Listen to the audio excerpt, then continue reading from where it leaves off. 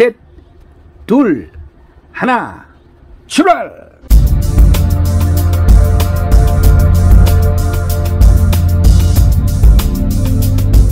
안녕하십니까. 803 조경과 구들장입니다. 아, 오늘 정말로 천금 같은 비가 내리고 있습니다. 바깥에서는 하루 종일 내리는데 이게 정말로 단비입니다. 달짝지근한 그런 비라는 거죠.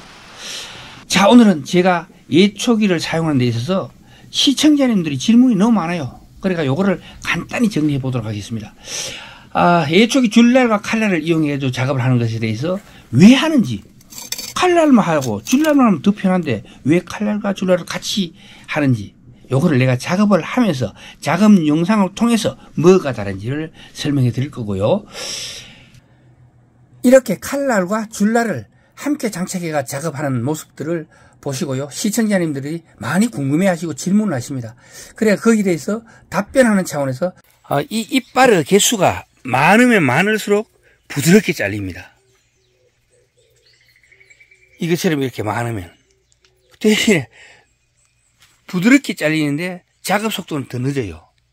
이런 것도 무거워서 못 씁니다. 그래서 이렇게 3개짜리도 나옵니다. 3개짜리 나오는데 저는 아직까지 이거를 사용해 보지도 않았고요. 여기에는 큰 관심이 없습니다. 나중에 제가 어, 시간이 나면은 가을쯤 돼가지고 시간이 나면 그때 한번 써보고 리뷰하도록 하겠습니다. 자 이런 같은 거는 작업 속도가 엄청 더딥니다. 왜냐하면은 요만큼만 자를 수가 있기 때문이죠. 단단한 거를 자를 수 있는 대신에 작업 속도가 엄청 느립니다. 그런데 이도나의 경우에는 이만큼을 자르잖아요. 그러면 작업 속도는 그에 대해서 그에 비해서 더 빠른 거죠. 저거에 비해서 훨씬 빠릅니다. 빠른데 실제로 작업을 해보면은 줄날한테만 택도 없거든요. 왜냐하면 줄날은 여기서부터 이만큼 그러니까 요만큼 하고 이만큼 천이 차이잖아요. 근데 줄날은 맞는다고 다 잘리는 게 아닙니다. 칼날은 돌아만 가면 잘리는데 줄날은 돌아간다고도 안 잘립니다. 폭발을 시키기 때문에 탁 때려가지고 잘리는 건 잘리고 안 잘리는 거는 어, 미끄러지 가지고 밀리거나 안 그러면 이 잡초가 많으면 이게 접혀버려. 휙 밀어보시면 확 접히겠죠. 그러면은 어때요?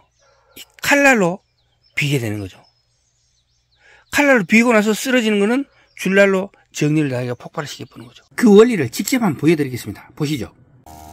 자, 요게 실제 속도입니다. 실제 속도로 치는데 속도가 굉장히 늦죠. 그러니까 어때요? 줄날로 폭파가 다 돼버리잖아요. 칼날 위에 얹히는 게 없잖아요. 근데 이거는 어때요? 시, 실제로 엄청 빨리 휘두르죠. 이러니까 위에 확확 얹히잖아요.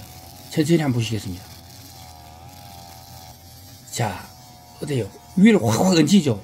이거는 뭘 말하느냐면 칼날로 자르고 있기 때문에 얹히는 겁니다. 줄날로 자르면 저리 얹히질 않아요. 바로 위로 확 얹혀버리죠. 확 휘두르니까 칼날로 확 자르게 됩니다. 줄날이 확 집히면서 칼날로 확 자른다는 거죠. 자, 지금 보이는 이 영상은요, 예, 실제 작업 속도인데, 예, 두 가지를 비교해 보시면 됩니다. 요거 작업하는 거는 예, 그냥 100% 줄날로 쳐나가는 거고요. 이리 천천히 두르면 줄날이 사람이 소화를 시키듯이 이렇게 다 잘라나가는 겁니다. 그리고 지금 요거 보이시는 거이죠. 요거처럼 막 휘두르는 뭐냐. 줄날로 다 칠 수가 없어요, 도저히. 칼날을 안 달고 줄날만 쳤만 휙휙 하면 밑에 막 미끌리 가지고 덜 잘리죠. 그런데 줄날이 치면서 칼날도 같이 잘라줍니다. 줄날이 자르는 건 자르고 못 자르는 건 칼날로 자르는 게 되는 거죠. 줄날로 치게 되면 빨리빨리 휘두르면 중간중간에 막 안 잘리는 게 막 수룩하게 나오게 겁니다. 그런데 이렇게 줄날과 칼날을 같이 동시에 놓고 휙휙 휘두르면 줄날로 팍 치고 그 다음에 더 못 치는 게 있어요. 줄날이 너무 빨라가지고 너무 빨리 들어오니까 그때는 칼날이 잘라주는 겁니다. 예, 애기 방동산이 종류입니다. 방동산에도 역시 질기입니다. 질기면 어떻게 해야 되냐면 RPM을 충분히 줘야 됩니다. 그러기 위해서는 줄날 길이를 조금 짧게 하고 RPM을 하이로 올려가지고 충분한 회전수가 나오도록 해주는 게 요령이 되겠습니다. 예, 요거 작업하는 거 보면은 아시겠지만 이게 이 줄날에 의해 가지고 폭파가 되는 거죠. 여기는 좀 약간 선 거거든요. 꽉 어물린 데가 아닙니다.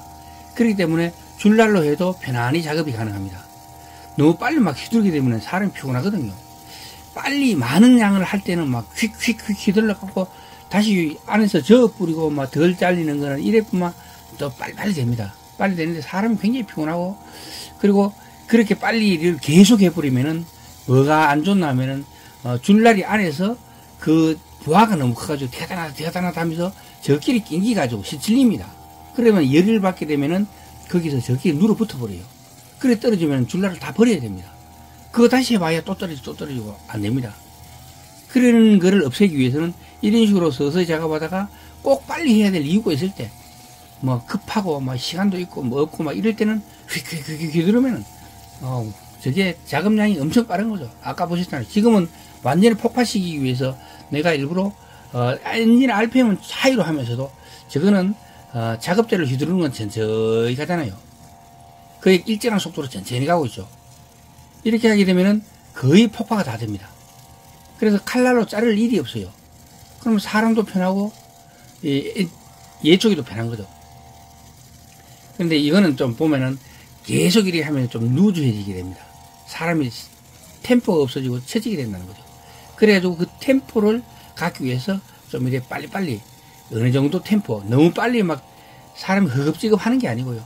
어느 정도까지는 휘두르고 그러면서 안에서 젖어주는 거 그게 또 요령이 됩니다.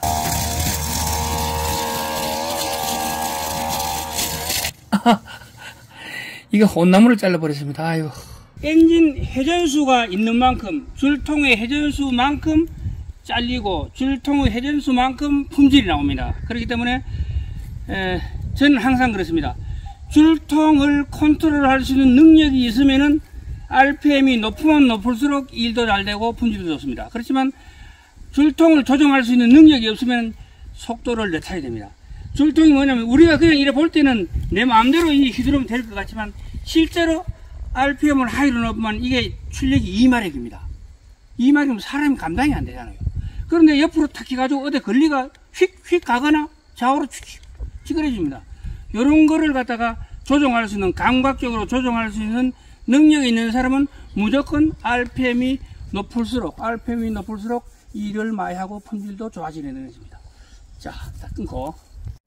예, 여기는 어 요거 속세 종류, 어, 애기 새 종류하고 그리고 요거는 어, 야간문이거든요.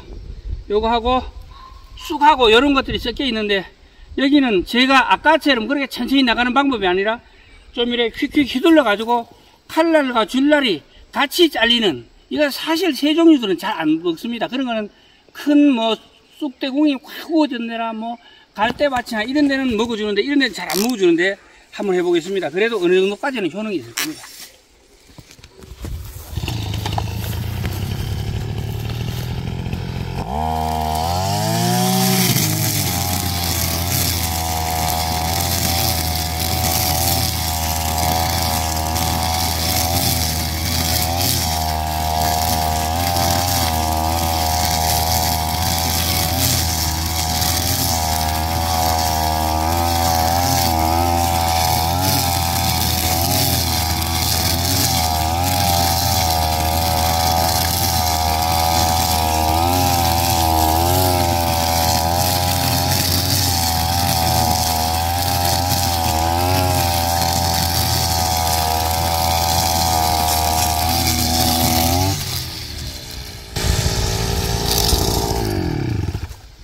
아까 내가 여기서 했던 거하고 여기서 했던 거는 방법이 완전 다르죠. 여기서 했던 거는 충분히 줄날을 힘을 이용해 가지고 편하게 일정하게 어, 깎을 때 시간도 많고 어느 정도 품질도 필요하고 이럴 때고 요거는 시간도 없고 급하게 할 때 그리고 체력은 좀 남았다. 사실 이건 체력이거든요. 야구 빠따 휘두르지 막 휘두르는데 이게 힘이 안 되겠습니까? 그렇지만 아, 요렇게 하는 방법이 있고 요렇게 하는 방법이 있는데 이렇게 하는 방법은 밀어붙일 때 선두에 서서 밀 때 뒤에 사람들하고 한 다섯 명이 같이 일하는데 내가 선두에서 밀어줘가지고 다른 사람들 따라오게 하려고 하면은 이제 이런 식으로 예적 팀에서는 앞장서는 사람이 한 사람이 있습니다. 그러다 그 사람의 체력이 떨어지면 다른 사람이 또 들어와서 앞장을 서고 그럼 뒤 사람들 쭉 따라가고 이런 식으로 단체적으로 예초를 할 때는 이런 식으로 하지만 개인적으로 혼자 할 때 이렇게 하면 지쳐 성공합니다. 자, 저렇게 하는 방법과 이렇게 하는 방법이 있다는 걸 알아봤고요. 예, 오늘은 줄날과 칼날을 동시에 장착해가지고 작업하는 요 원리 그리고 이점에 대해서 어, 이야기해 봤습니다. 동영상이 좋으셨다면 구독과 좋아요 부탁드리겠습니다. 지금까지 803 조경과 구절장이었습니다. 끝까지 시청해 주셔서 대단히 감사합니다.